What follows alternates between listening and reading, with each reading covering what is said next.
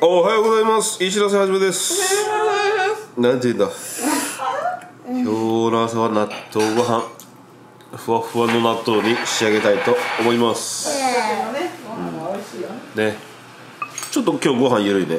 ああ、本当。うん。今日朝キュウリの漬物がね本当？出てくるって。いいね。はい、出てきた。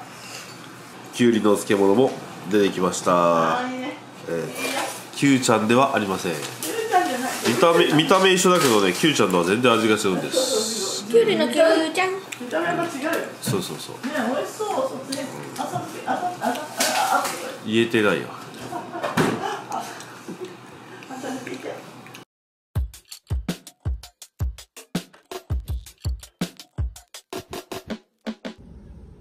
はい、さっきまでえげつない雨が降っておりました、えー外に出てねこう撮るのも、えーはばかれるぐらいの雨でした、えーちょっとね今雨が止んだんで外に出て撮っていましたけどまだまだこれから降りそうな雰囲気ですね。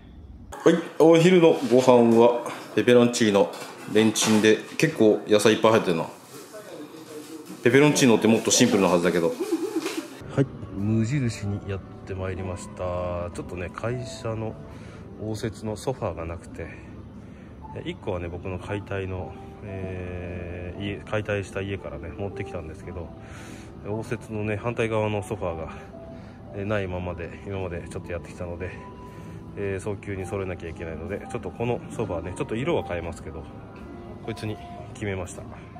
イオンに来たついでに、えー母ちゃんがこうスタバ食べたいということで秋味のモンブランフラペチーノ。と僕いつものカフェモカのポットね。あ、ほんと。であとこうチーズタルト。ちょっとお昼の、えーなんだおやつ？的な感じで買いました。私ほら、あれだ、いつもフラペチーノは甘みを半分でっていう。ね。かなり甘いからね。あそう。じゃあ行こうか。はい。我が家の裏の倉庫。随分と壊れ壊れてもう だいぶいろんなとこが内壁が見えてきますね悲しいもうちょっと大きい声でいいよはい今日もものすごい雨が降った一日お仕事終わりました雷ゴロゴロ。ね雷は鳴るわ雨は降るわ風は吹くわね、でも鹿児島では風車の羽が折れたらしいた。いやー、あんな本当怖いがね。えでかあの飛んできたあんなもう直撃するタイプ私。何弁というわけでまあとりあえずね今日も無事一日お仕事終わったので母ちゃんの美味しい今日は何これ麻婆春雨？ねの野菜炒め入りまあ具だくさんだそう具ねだくさんだから。めっちゃ美味しそうだよ中谷園の麻婆春雨。何 CM してんだ？それではいただきます。美味しい。ね。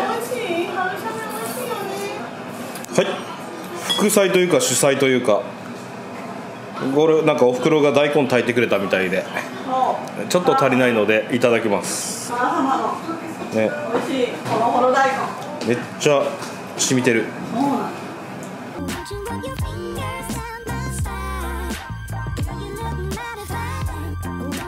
ん